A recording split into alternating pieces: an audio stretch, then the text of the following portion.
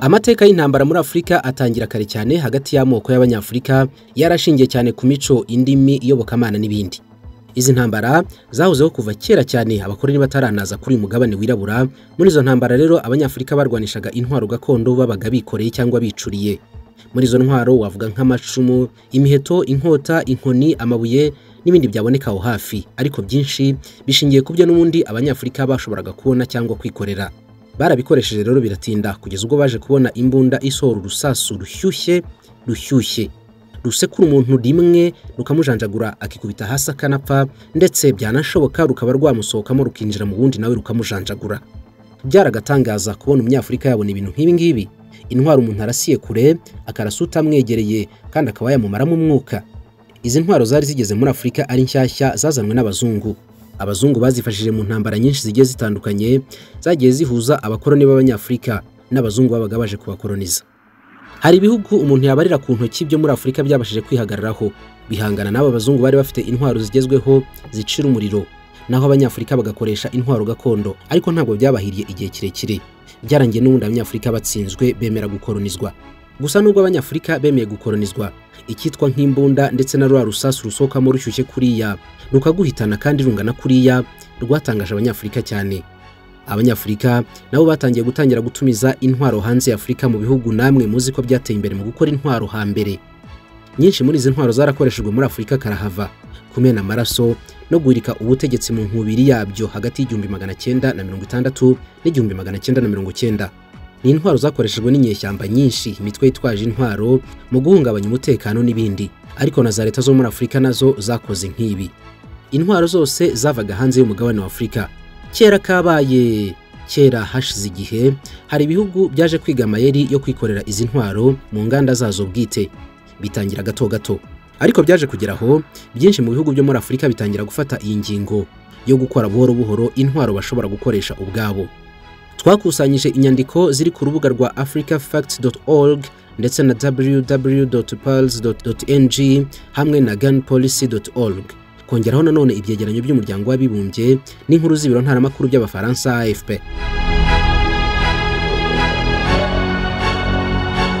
ku mwanya wa mbere muri ibi bihugu byikorera intwaro ku mugabane wa afurika hari igihugu mushobora gukeka cyane afurika y'epfo. Ubusanzwe afurika y'epfo ni igihugu gikungahaye cyane muri afurika ku buryo hari n'abantu bamwe bagifata nk'aho ari igihugu cyo ku mugabane w'uburayi ariko cyituriye mu ndiba ya afurika nta gitangaza kirimo kuba igihugu gikomeye nk'iki ngiki cya South Africa cyangwa se Afurika y'Epfo cyajya mu bihugu bishobora kwikorera intwaro. Amafaranga kirayafite ubutare kirabufite inganda ziriyo n'iterambere hamwe na tekinoloji birahuzuye. Inganda za Afurika y'Epfo ziruta zimwe mu ziri mu bihugu byo mu Burayi.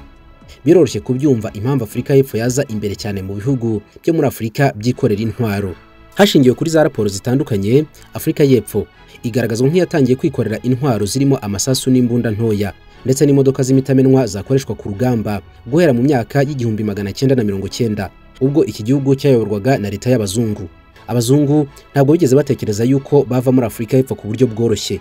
Bumvaga n'ubundi bari kubaka igihugu cyabo muri afurika kimeze nk'icyo mu burayi bityo bahashinga inganda zikora imbunda amasasu n'imodoka zikoreshwa ku rugamba. Aba bazungu bari barageze muri afurika y'epfo mu myaka myinshi yashize. Nk'abahorandi bahageze mu myaka y'igihumbi magana atandatu na mu kinyejana cya cumi na karindwi gushyiraho abongereza batangiye kuhagera mu myaka y'ikinyejana cya cumi n'umunani n'icya cumi n'icyenda.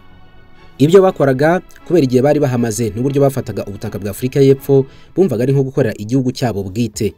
Mu myaka y'igihumbi magana cyenda na mirongo inani leta ya afurika y'epfo yari yarageze ku iterambere ryo gutangira gutunganya ubutare bwa uranium bukorwamo ibitwaro kirimbuzi. Yari ifite ibisasu bitandatu kirimbuzi yikoreyeyo ubwayo mu nganda zishinze ku butaka bwa afurika y'epfo.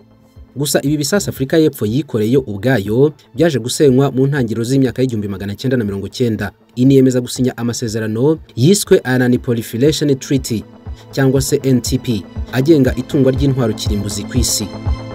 Ku mwanya wa kabiri hari igihugu cya etiyopiya etiyopiya na cyo ni igihugu cy'ubudahangarwa kandi udakwiye gushidikanyaho cyane iyo bigeze kuri iyi ngingo yo kwikorera intwaro. Ni igihugu umuntu yanavuga yuko kirwanyeho ntikibashe gukoronizwa n'abanyaburayi uko biboneye. Nacyo kigarukwaho nk'ikimaze kugira ubushobozi bwo kwikorera intwaro zirimo amasasu n'imbunda ntoya kugera ku bisasu bya za rokete mu ngengo y'imari ya miliyoni magana ane z'amadolari ya leta zunze ubumwe za amerika etiyopiya ikoresha mu gisirikare cyayo. Harimo amafaranga menshi agana mu nganda zikora intwaro mu gihugu cya etiyopiya yatangije imirimo yo kwikorera intwaro guturuka mu kinyejana cya cumi n'icyenda mu myaka y'igihumbi magana inani. Hifashishwaga icyo gihe abazungu b'abongereza bari bakambitse muri iki gihugu. Naho ku mwanya wa gatatu hari igihugu cya misiri. Misiri kugeza ubu ngubu ni cyo gihugu gifite igisirikare gikomeye cyane muri afurika ubaze ku bigenderwaho byose kugira ngo umuntu yitwe yuko afite igisirikare. Mvuze umuntu nako ni igihugu. Inganda mirongo itatu muri iki gihugu cya misiri ni umwihariko zikora intwaro za gisirikare. Hakoreshejwe miliyoni zigera kuri magana ane z'amadolari ya leta zunze ubumwe za amerika. Misiri ikoresheje aya mafaranga yikoreye cyangwa se yikorera za bombe z'ubwoko butandukanye imbunda ntoya hamwe n'amasasu. Ubuhanga bwo kwikorera intwaro mu misiri bwatangiye mu myaka y'igihumbi magana inani na makumyabiri ariko butezwa imbere cyane nyuma y'intambara ya kabiri y'isi yose. Misiri iri mu bihugu bikunze kwisanga mu ntambara z'ubwoko butandukanye zirimo izayihanganishije n'abongereza mu myaka myinshi y'ikinyejana cya makumyabiri izayihanganishije n'abayisirayeli nyuma y'intambara ya kabiri y'isi yose n'ibindi bihugu birimo nka siriya n'ibindi. Ibi byatumye yongera imbaraga mu kwikorera intwaro zishobora kuyifasha mu gihe icyo ari cyo cyose kubera gutinya yuko hashyirwaho ibihano byo kwigurira imbunda amahanga akayigarurira. Byatumye rero ishyira amafaranga menshi mu nganda zishobora kwikorera ibikoresho bya gisirikare birimo intwaro amasasu hamwe n'ibimodoka bikoreshwa ku rugamba. Ku mwanya wa kane muri afurika mu bihugu byikorera intwaro hari igihugu cya ghana. Reka tunasuhuze abanyarwanda bari muri ghana cyane. Ni igihugu cyahoze cyitwa ikirombe cy'izahabu. Ubu na cyo gisigaye kibasha kwikorera intwaro. Kuba mu butaka bwacyo harimo amabuye menshi y'agaciro byatumye abaturage n'ubuyobozi bwa Ghana bitangira kuzamura ubushobozi bwo kureba uburyo aya mabuye y'agaciro yabyazwa umusaruro mu nganda zabo bwite. Ubuhanga na tekinike byo gukora intwaro muri Ghana byatejwe imbere guhera mu myaka ijana ishize. Cyane cyane hakoreshejwe tekinike yo kohereza abanyagana bakajya kuminuza ibijyanye n'ubutabire hamwe n'ubugenge muri za kaminuza zikomeye cyane ku isi harimo n'izo mu bihugu byo mu burengerazuba zacengeye ibi bintu kuva mu myaka myinshi ishize. Kugeza ubu ngubu nibura muri Ghana hari ahantu icumi habarizwa inganda zo gukora intwaro nko mu gace ka Swazane ka Kumasi kari mu bice byahozemo ubwami bw'abashanti. Ubu ni mu karere ka Shanti ni hamwe kandi mu hantu hari inganda zikomeye zo ku rwego rwo hejuru. Ubwo igisigaye ni ukumenya niba nk'imbunda yo muri Ghana ibanditseho ngo made in Ghana. Ntumbaze. Ku mwanya wa gatanu mu bihugu byo muri Afurika byikorera intwaro hari igihugu cyo hafi ahangaha. Kenya. Ubundi Kenya abantu benshi urugero nk'abantu bo hanze ya Afurika bayizi kubera ibyanya byayo nyaburanga. Bikurura abakerarugendo benshi kandi bigakosha bikinjiza leta umushandiko w'amafaranga. Babyita amadovize mu bukerarugendo. Gukora intwaro muri Kenya byatangiye mu gihumbi magana cyenda na mirongo cyenda na karindwi. N'ubundi mu mushinga watangijwe nk'icyifuzo cya minisiteri y'ingabo ya Kenya. Mu byiswe Kenya Ordnance Factories Corporation KOFC Kenya igafatanya rero n'ibindi bihugu by'amahanga kimwe n'imishinga mpuzamahanga mu gukora intwaro birimo nka FN Hensel of Belgium hamwe n'ibindi biyifasha gutunganya bene izi ntwaro. Ifite kandi ububasha bwo kwikorera imbunda ntoya hamwe n'amasasu ku buryo Kenya yonyine ifite ubushobozi bwo kwikorera amasasu ari hagati y'ibihumbi mirongo itandatu na mirongo irindwi mu munsi umwe. Mu masaha makumyabiri n'ane gusa Kenya rwose bishobora kwikorera amasasu ibihumbi mirongo irindwi. Murumva uko angana? Mu mwaka w'ibihumbi na cumi na kabiri ikompanyi y'ubucuruzi ya Afurika y'Epfo yitwa Osprey Logistic yatangaje yuko yashyizeho ahantu muri Kenya izajya iteranyiriza ibimodoka by'intambara bya Mamba MK gatanu. Aho yari ifite gahunda yo gukora ibimodoka bigera ku ijana mu gihe cy'umwaka umwe gusa. Gusa nubwo Kenya yabashije gutangira kwikorera intwaro n'ibindi bikoresho bya gisirikare ntabwo irabasha kwigana neza isasu rya mu mbunda AK47 imbunda y'abarusiya imaze guca agahigo ko kuba yarakoreshejwe mu ntambara nyinshi hano ku isi. Ikaba ari na yo kugeza ubu ngubu yahitanye umubare munini w'ikiremwamuntu cyahitanywe n'isasu. Ku mwanya wa gatandatu hari igihugu cya Nigeria. Birumvikana kubera ko Nigeria ni igihugu cy'igihangange kandi gikize muri Afurika iri mu bihugu bifite amariba menshi ya peteroli atarakama kugeza ubu ngubu ku buryo n'abakire benshi batunze kuri uyu mugabane wa Afurika abenshi usanga bari muri Nigeria. Abanyanigeriya babashije kwikorera ubwoko butandukanye bw'imbunda. Hari imbunda yamenyekanye cyane muri Nigeria yenda kumera nka AK47 bo bise AK47 new version. Ariko barangije iri zina ry'icyongereza ntibaritindaho cyane ahubwo bayiha izina ryabo bihariye rya Obasanjo. Obasanjo ni izina rya Olusegun Obasanjo yabaye perezida wa Nigeria. Impamvu iyi mbunda bayihaye izina rya Obasanjo ni ukubera ko perezida Olusegun Obasanjo yasuye uruganda rwa Deacon ahakorerwa iyi mbunda akaba yarabaye umuperezida wa kabiri muri nigeria wari usuye uru ruganda nyuma ya general yakub godwin.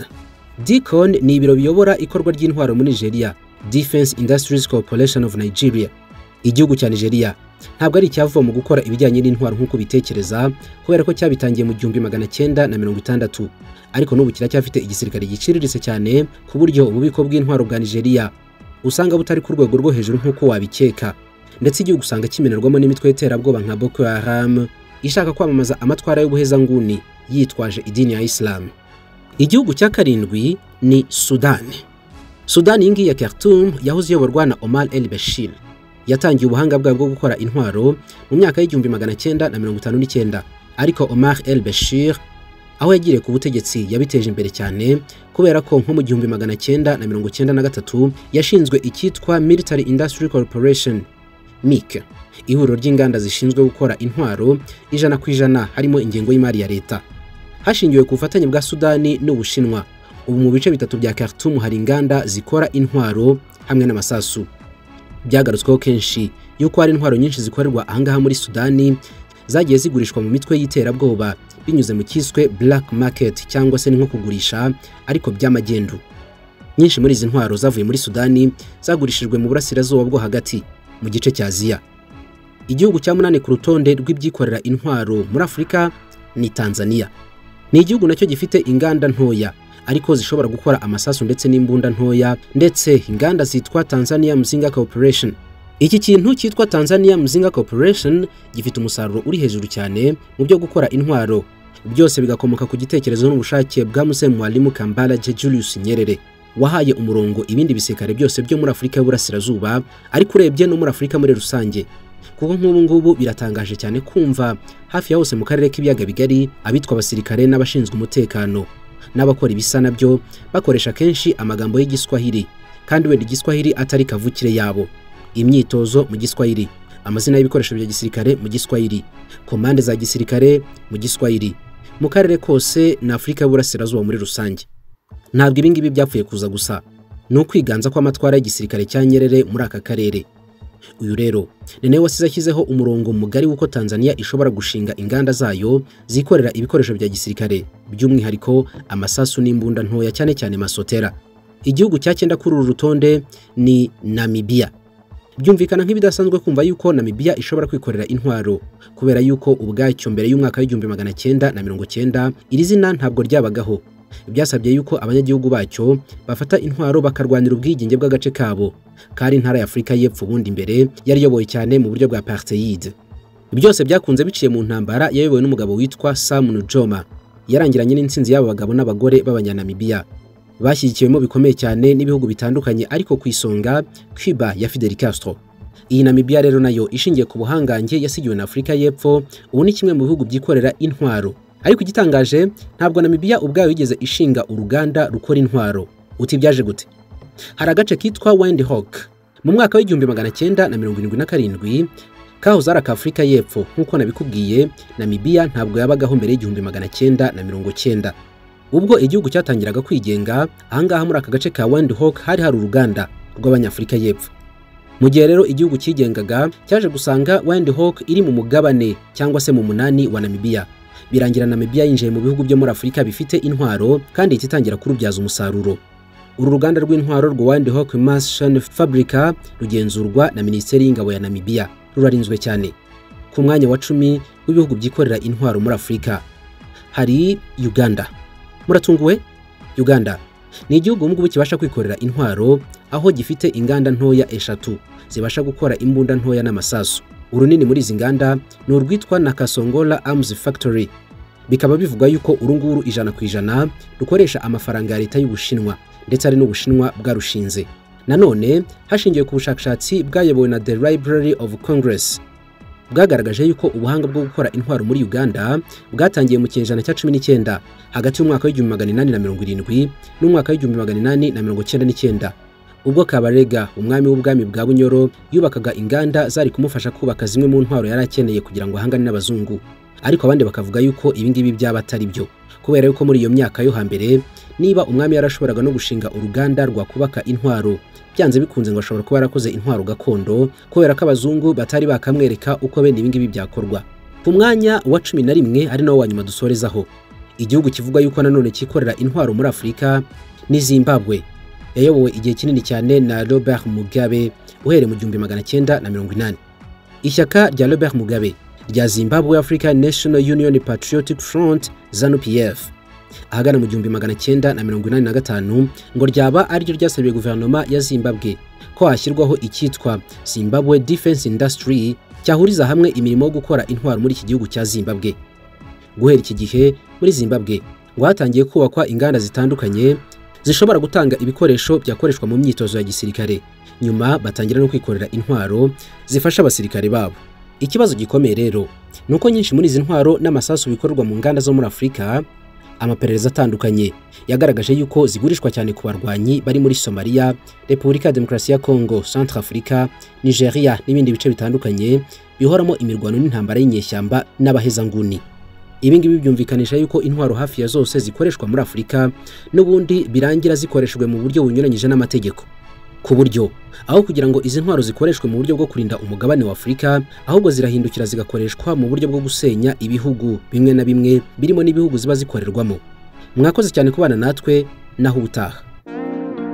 Banyarwanda baturarwanda hehe n'ikibazo cyo kugurisha kugura cyangwa gukodesha. Ubu igisubizo ni auto house limited. Muri auto house limited turanga amazu yo kugurisha no gukodesha. Tubafitiye ibibanza byiza ahantu heza ushobora kubaka inzu yawe kandi tugufasha no kubona autorisation de batir utibagiwe n'ubwo kandi tuguha pulayi y'inzu yawe. Muri auto house limited kandi turanga imodoka nziza cyane zo kugura cyangwa gukodesha. Kuri wowe ushobora guhura n'ibyago imodoka ikagupfiraho. Duhamagare tukohereze breakdown. Tuguhe n'imodoka uzajya wifashisha kugeza iyawe ikize. Ahasigaye rero wowe ugurisha tugane tugukorere serivisi yihuse. Wowe ugura kandi cyangwa ushaka gukodesha nawe tugane. Ubundi tugufashe byihuse. Ku bindi bisobanuro ushobora kudusanga kuri wa eshatu akadomo auto house akadomo rawa cyangwa se ukaduhamagara kuri telefone nimero zeru karindwi mirongo inani n'umunani mirongo icyenda mirongo inani mirongo irindwi na kane. Ushatse kandi wadusura aho dukorera ku gisozi haruguru y'agakiriro muri etaje iri hejuru ya layika supamaketi ikaze muri Auto House Limited.